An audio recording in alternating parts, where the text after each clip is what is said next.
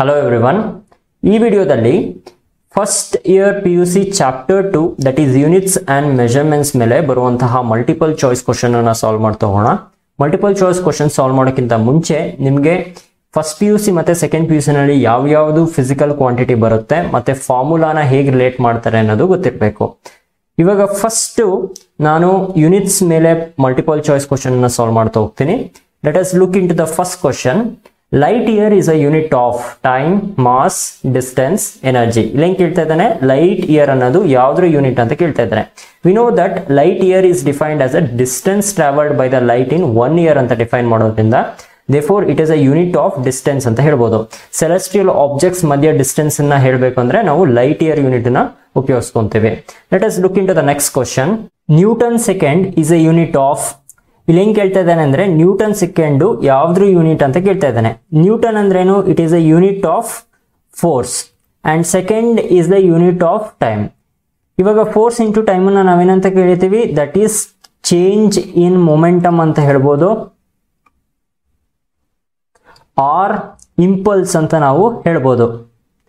ನಿಮಗೆ ಇದು ಅರ್ಥ ಆಗಲಿಲ್ಲ ಅಂದರೆ ಎಕ್ಸ್ಪ್ರೆಷನ್ ಬರ್ಕೊಂಡು ನೋಡಿ. That is F is equal to D P divided by D T ಅಂತ ಕೊಡ್ತೀವಿ.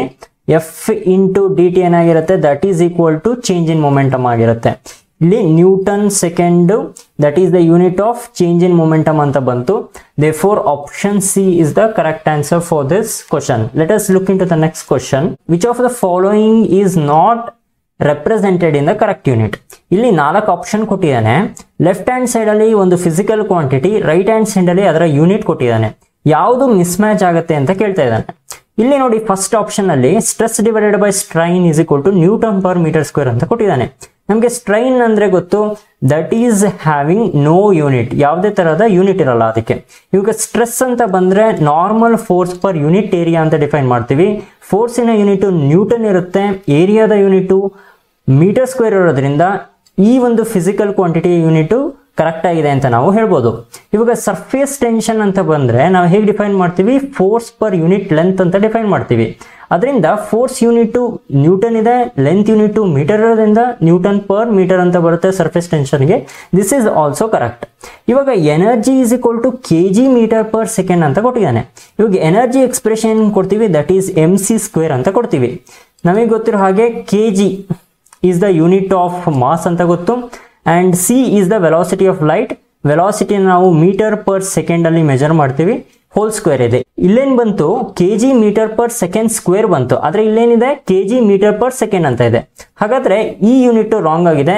Therefore option C is the correct answer for this question ಇವಾಗ ಆಪ್ಷನ್ ಡಿ ಕೂಡ ನೋಡೋಣ. ಪ್ರೆಷರ್ನ ನ್ಯೂಟನ್ ಪರ್ ಮೀಟರ್ ಸ್ಕ್ವೇರ್ ಅಂತ ಹೇಳಿದಾನೆ. We know that pressure is defined as force divided by area that is force unit newton ಇದೆ area unit metre square ಇದೆ that is newton per metre square ಅಂತ ಬರುತ್ತೆ.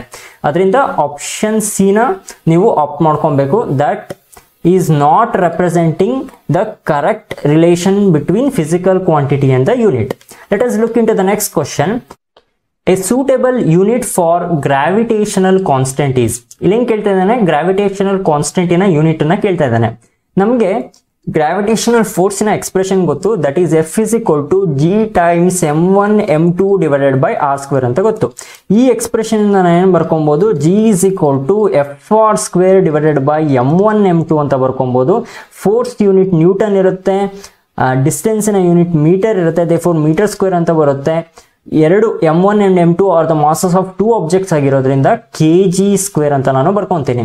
ಇದರಿಂದ ನಾನೇನು ಬರ್ಕೊಂಡು newton metre square K G to the power of minus two ಅಂತ ಬರ್ಕೊಬೋದು. Therefore option C is the correct answer that is newton metre square per K G square is the unit for gravitational constant next question ನೋಡೋಣ. S I unit of pressure is ಇಲ್ಲಿ ನಾಲ್ಕು option ಕೊಟ್ಟಿದ್ದಾನೆ. ಈ ನಾಲ್ಕು option ಅಲ್ಲಿ ಕೊಟ್ಟಿರೋದು ಎಲ್ಲ unit of pressure ಆದ್ರೆ ಇಲ್ಲಿ S I unit of pressure ಅಂತ ಕೇಳಿರೋದ್ರಿಂದ pascal is the S I unit of pressure ಅಂತ ನಮಗೆ ಗೊತ್ತು. Therefore option A is the correct answer next question ನೋಡೋಣ. The unit of angular acceleration in S I system is ಇಲ್ಲಿ angular acceleration unit ಅನ್ನ ಕೇಳ್ತಾ ಇದ್ದಾನೆ. ಇವಾಗ ಆಂಗ್ಯುಲರ್ ಆಸಲರೇಷನ್ ನಾವೇನಂತ ಬರ್ಕೊಂತೀವಿ? That is equal to angular velocity that divided by time ಅಂತ ಬರ್ಕೊಂತೀವಿ. We know that angular velocity has the unit that is radian per second ಅಂತ ಗೊತ್ತಿದೆ. ಟೈಮಿನ unit second ಇರೋದ್ರಿಂದ ನಮಗೆ ಬಂತು? ರೇಡಿಯನ್ ಪರ್ ಸೆಕೆಂಡ್ ಸ್ಕ್ವೇರ್ ಅಂತ ಗೊತ್ತಾಗುತ್ತೆ. Therefore option C is the correct answer for this question that is angular acceleration unit ಏನಾಗಿರುತ್ತೆ? Radian per second square ಅಂತ ಬರುತ್ತೆ. ನೆಕ್ಸ್ಟ್ ಕ್ವಶನ್ ಅನ್ನ ನೋಡೋಣ. The unit of Stefan's constant sigma is ಇಲ್ಲೇನು ಕೇಳ್ತಾ ಇದ್ದಾನೆ ಅಂದ್ರೆ ಸ್ಟೀಫನ್ಸ್ ಕಾನ್ಸ್ಟೆಂಟ್ ಸಿಗ್ಮಾದು ಯೂನಿಟ್ ಏನು ಅಂತ ಕೇಳ್ತಾ ಇದ್ದಾನೆ. From Stefan's law from Stefan's law we have the expression E is equal to sigma T to the power of four ಅಂತ ಇದೆ. ಇಯರ್ ಇ ಅಂದ್ರೆ ಏನು? That is energy radiated from the black body from the black body per unit area per unit time ಅಂತ ನಮಗೆ ಗೊತ್ತಿದೆ. ಅದರಿಂದ ಇದನ್ನು ನಾನೇನಂತ ಬರ್ಕೊಬೋದು ಅಂದರೆ is equal to energy divided by area into time ಅಂತ ನಾನು ಬರ್ಕೊಬೋದು. ಇವಾಗ ಎನರ್ಜಿ ಡಿವೈಡೆಡ್ ಬೈ ಟೈಮ್ ಏನಾಗಿರುತ್ತೆ? ದಟ್ ಈಸ್ ಪವರ್ ಅಂತ ಬರುತ್ತೆ. ಡಿವೈಡೆಡ್ ಬೈ ಏರಿಯಾ ಅಂತ ಬಂತು. ಇದರಿಂದ ನಾನು ಯೂನಿಟ್ ಏನು ಬರ್ಕೊಬೋದು? ವ್ಯಾಟ್ ಪರ್ ಮೀಟರ್ ಸ್ಕ್ವೇರ್ ಅಂತ ಬರ್ಕೊಬೋದು. ಈ ಯೂನಿಟ್ ಏನಾಗಿರುತ್ತೆ? That is watt per metre square ಅಂತ ಬಂತು. ಇವಾಗ ಈ ಒಂದು ಎಕ್ಸ್ಪ್ರೆಷನ್ ಇಂದ ನಾನೇನು ಬರ್ಕೊಂತೀನಿ ಅಂದ್ರೆ is equal to sigma T to the power of four ಅಂತ ಇದೆ. ದೇ ಫೋರ್ ಸ್ಟೀಫನ್ಸ್ ಕಾನ್ಸ್ಟೆಂಟ್ ಏನಾಗಿರುತ್ತೆ? E divided by T to the power of four ಅಂತ ಬಂತು. ಈ ಯೂನಿಟ್ನ ಕಂಡಿಡ್ಕೊಂಡಿದ್ದೀನಿ that is watt per metre square ಅಂತ. ಇವಾಗ ಟೆಂಪರೇಚರಿನ ಯೂನಿಟ್ ಏನಾಗಿರುತ್ತೆ? That is kelvin represented by the capital letter K ಇದ್ರದ್ದು ಪವರ್ ಫೋರ್ ಇದೆ therefore we get the unit watt per metre square kelvin to the power of minus four ಅಂತ ಬಂತು ಅದರಿಂದ ಯಾವ ಆಪ್ಷನ್ಸ್ ಕರೆಕ್ಟ್ ಆಗಿರುತ್ತೆ therefore option C is the correct answer that is watt per metre square per kelvin to the power of four that is the unit of Stefan constant sigma let us look into the next question Which of the following is not a unit of energy ಇಲ್ಲಿ ನಾಲ್ಕು option ಕೊಟ್ಟಿದ್ದಾನೆ. ಈ ನಾಲ್ಕು option ಅಲ್ಲಿ ಯಾವುದು unit of energy ಅಲ್ಲ ಅಂತ ಕೇಳ್ತಾ ಇದ್ದಾನೆ. ಇವಾಗ ಫಸ್ಟ್ ಆಪ್ಷನ್ ನೋಡಿ ವ್ಯಾಟ್ ಸೆಕೆಂಡ್ ಅಂತ ಕೊಟ್ಟಿದ್ದಾನೆ. Watt is a unit of power ಅಂತ ನಮಗೆ ಗೊತ್ತಿದೆ. And second is the unit of time ಇವಾಗ ನೋಡಿ ಪವರ್ ಇಂಟು ಟೈಮ್ನ ನಾವು ವರ್ಕ್ ಅಂತ ಹೇಳ್ಬೋದು. ಏನಕ್ಕೆ ಅಂದ್ರೆ power is equal to work divided by time ಅಂತ ಡಿಫೈನ್ ಮಾಡೋದ್ರಿಂದ. ಇವಾಗ work and energy energy has same unit ಅಂತ ನಮಗೆ ಗೊತ್ತು. ಅದರಿಂದ this is the unit of energy ಅಂತ ಹೇಳ್ಬೋದು. ಇವಾಗ ಆಪ್ಷನ್ ಬಿ ನೋಡಿ that is K G metre per second ಅಂತ ಕೊಟ್ಟಿದ್ದಾನೆ. ಕೆ ಜಿ ಅಂದ್ರೆ ಏನು? Mass and metre per second velocity ಇರುತ್ತೆ. ಮಾಸ್ ಟೈಮ್ಸ್ ವೆಲಾಸಿಟಿ ಏನಾಗಿರುತ್ತೆ? ದಟ್ ಈಸ್ ಮೊಮೆಂಟಮ್ ಆಗಿರುತ್ತೆ. For this is not the unit of energy ಅಂತ ಹೇಳ್ಬೋದು. And newton metre is also unit of energy and joule is also a unit of energy. Therefore, option B is the correct answer for this question, which is not the unit of energy. Let us look into the next question. Electron volt is a unit of charge, potential difference, momentum, energy. namge charge ನಮಗೆ ಚಾರ್ಜಿನ unit ಗೊತ್ತು that is coulomb ಅಂತ potential ಡಿಫರೆನ್ಸಿನ unit ಗೊತ್ತು that is volt ಅಂತ ಗೊತ್ತಿದೆ momentum ಅಂದ್ರೇನು that that is kg meter per second anta namge ಗೊತ್ತು Energy unit ಏನಾಗಿರುತ್ತೆ that is joule. We know that volt is equal to one point six into ten to the power of minus nineteen joules ಅಂತ ಬರ್ಕೊಂತೀವಿ. ಅದರಿಂದ electron volt is also the unit of energy ಅಂತ ಕರಿಬಹುದು therefore option D is the correct answer next question ಅನ್ನು ನೋಡೋಣ. Volt per metre is a unit of ಇಲ್ಲಿ ಹೆಂಗ್ ಕೇಳ್ತಾ ಇದ್ದಾನೆ ಅಂದ್ರೆ ವೋಲ್ಟ್ ಪರ್ ಮೀಟರ್ ಯಾವ ಫಿಸಿಕಲ್ ಕ್ವಾಂಟಿಟಿಯ ಯೂನಿಟ್ ಅಂತ ಕೇಳ್ತಾ ಇದ್ದಾನೆ. ಇಲ್ಲಿ volt is the unit of potential ಅಂತ ಗೊತ್ತು. That is V divided by metre is the unit of distance. That is v divided by t. V divided by t ನ ನಾವೇನಂತ ಹೇಳ್ತೀವಿ? E ಅಂತ ನಾವು ಕರಿತೀವಿ. That is e is equal to negative potential gradient ಅಂತ ನೀವು second P U C ನಲ್ಲಿ ಕಲ್ತಿರ್ತೀರಾ. ಅದರಿಂದ ನಾನೇನಂತ ಬರ್ಕೊಬಹುದು this is the unit of electrical field intensity ಅಂತ ನಾವು ಹೇಳ್ಬೋದು. Therefore option D is the correct answer for this question next question ನೋಡೋಣ. The unit of surface tension in S I system is dyne per centimetre square newton per metre dyne per centimetre newton per metre square ಇಲ್ಲಿ ಹೇಳ್ತಾ ಕೇಳ್ತಾ ಇದ್ದಾನೆ ಅಂದ್ರೆ surface ಟೆನ್ಷನ್ನ S I unit ಏನಾಗಿರುತ್ತೆ ಅಂತ ಕೇಳ್ತಾ ಇದ್ದಾನೆ. ಸರ್ಫೇಸ್ ಟೆನ್ಷನ್ನ ನಮಗೆ ಡೆಫಿನೇಷನ್ ಗೊತ್ತಿದೆ. That is force divided by unit length ಅಂತ. Therefore force by length ಅಂತ ಬರ್ಕೊಬೋದು. ಫೋರ್ಸಿನ ಎಸ್ ಐ ಯೂನಿಟ್ ನ್ಯೂಟನ್ ಇರುತ್ತೆ ಲೆಂತಿನ S I unit metre newton per metre ಅಂತ ಬರುತ್ತೆ. Therefore option B is the correct answer for this question let us look into the next question the unit of self inductance of a coil is unit of self inductance of a coil ಏನು ಅಂತ ಕೇಳ್ತಾ ಇದ್ದಾನೆ. ಇಲ್ಲಿ ನಾಲ್ಕು option ಕೊಟ್ಟಿದ್ದಾನೆ. First option farad ಅಂತ ಇದೆ. This is the unit of capacitance weber ಅಂತ ಬಂದ್ರೆ this is the unit of magnetic flux density ಅಂತ ಹೇಳ್ತೀವಿ. And tesla is the unit for magnetic intensity therefore self ಇಂಡಕ್ಟೆನ್ಸಿನ unit ಏನಾಗಿರುತ್ತೆ? ದಟ್ ಈಸ್ ಹೆನ್ರಿ ಆಗಿರುತ್ತೆ. Therefore option B is the correct answer for this question let us look into the next question henry per ohm can be expressed in second coulomb ಮೋ metre ಇಲ್ಲೇನ್ ಕೊಟ್ಟಿದ್ದಾನೆ? Henry per ohm ಅಂತ ಕೊಟ್ಟಿದ್ದಾನೆ.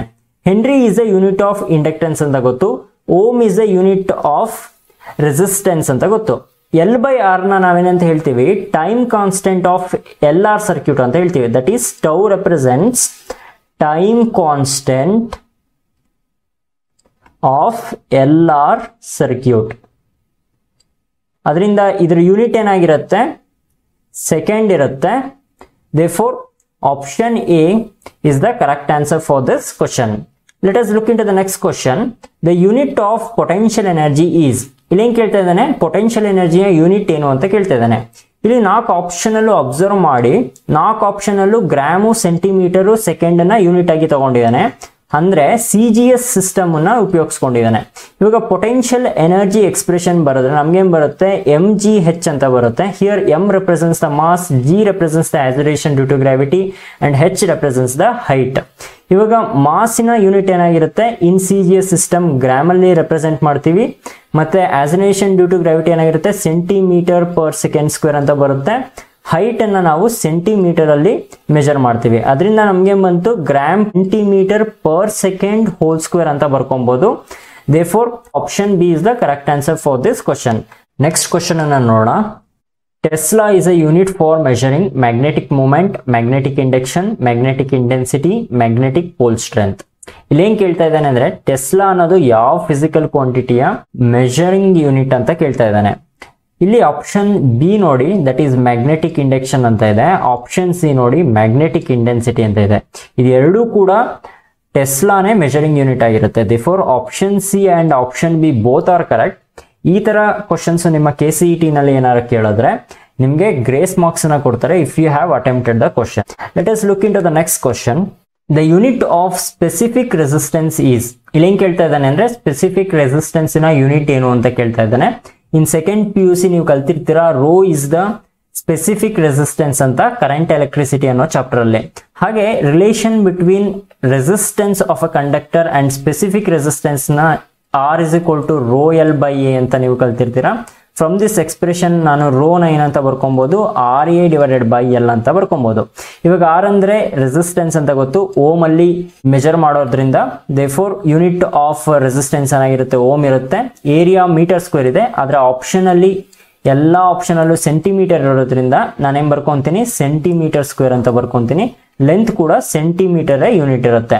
ಹಾಗಾಗಿ ನಮ್ಗೇನ್ ಬಂತು? ಇಲ್ಲಿ ಸೆಂಟಿಮೀಟರ್ ಒನ್ ಟೈಮ್ ಕ್ಯಾನ್ಸಲ್ ಆಗುತ್ತೆ. ದೇ ಫೋರ್ ಓಮ್ ಸೆಂಟಿಮೀಟರ್ ಅಂತ ಬಂತು.